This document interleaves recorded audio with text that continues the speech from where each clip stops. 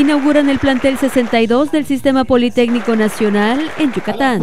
La inauguración de la Universidad Politécnica de Yucatán. Con ello se busca la transformación en el sistema educativo de todo el país. Y al transformar la vida de sus familias están transformando la vida de sus comunidades y con eso estamos transformando la vida de México.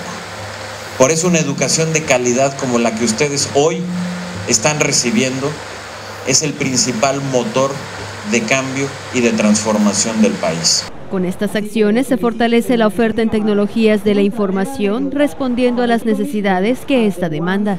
Nos sentimos muy contentos porque es una nueva universidad para una nueva economía que estamos construyendo en Yucatán. Esta universidad, ante todo, responde a una gran necesidad que tenemos en el Estado. Las industrias de las tecnologías de la información y comunicación, de la electrónica, de telecomunicaciones.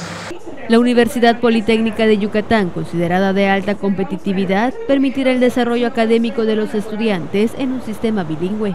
Ustedes pertenecen a esa nueva generación de mexicanos. Ahorita los estábamos, eh, los estábamos escuchando, estábamos escuchando a Ricardo, a Samara, el entusiasmo con el que hablan, la fuerza que tienen. Ustedes son una nueva generación sin complejos, dispuesta a triunfar, que quiere competir de tú a tú con quien sea y donde sea, que quiere realizar sus sueños a través del esfuerzo y a través de la educación. La apertura de esta universidad permitirá al Estado entrar a una nueva era que se traduce en impacto para la economía.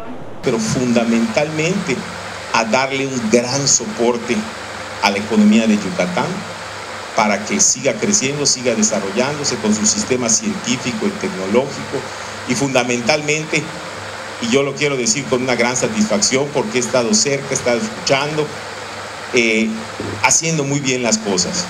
De esta manera, Yucatán ya cuenta con su Universidad Politécnica para formar profesionistas con miras a un futuro prometedor para su desarrollo y el de nuestro Estado.